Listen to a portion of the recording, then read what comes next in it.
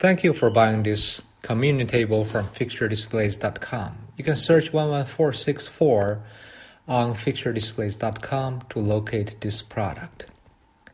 In this short video, we're going to show you all the components and how to put it together.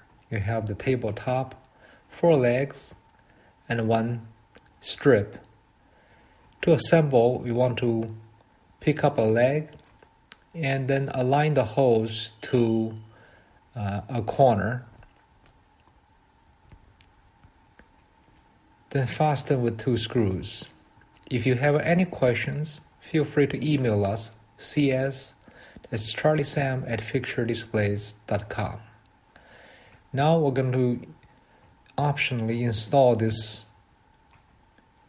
strip if you are using this for communion purpose.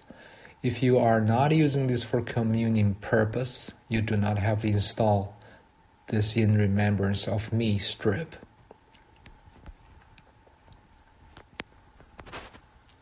If you like our product and services, we can really use a good review.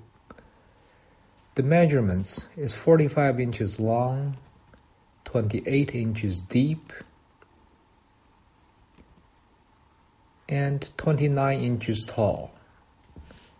The entire table weighs about 38 pounds. The four legs are made of solid wood. The tabletop is made from medium density fiberboard. It's a common furniture making material.